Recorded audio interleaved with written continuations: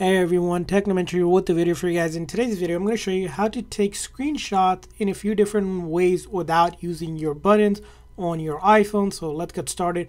So normally if you're taking a screenshot, you would use the volume up and the side button, pressing and holding at the same time and letting it go to take a screenshot.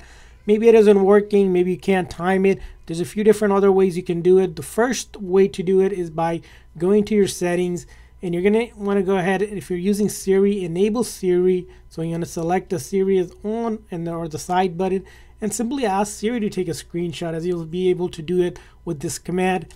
Hey Siri take a screenshot. As you can see I can get Siri to take a screenshot and then I can open it up and then go ahead and share it save it do whatever I need to. That so that's one way. So I'm gonna save it to photos here. Another way is if you don't like using Siri you can also go ahead into your settings, go to accessibility, touch, and then go down here where it says back tap. Click on either double or triple and then use the back tap to take a screenshot. So what is a back tap?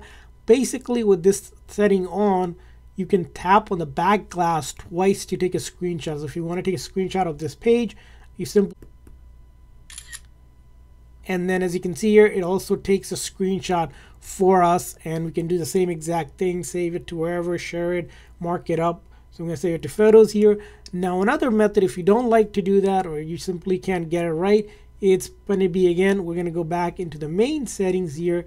We're going to go to accessibility and from there on we're going to go to touch here and then we're going to turn on this assistive touch. Now once you turn on this little circle thing pops up and this will allow you to do certain things as well like this options that are available. So I click on it and then click on device.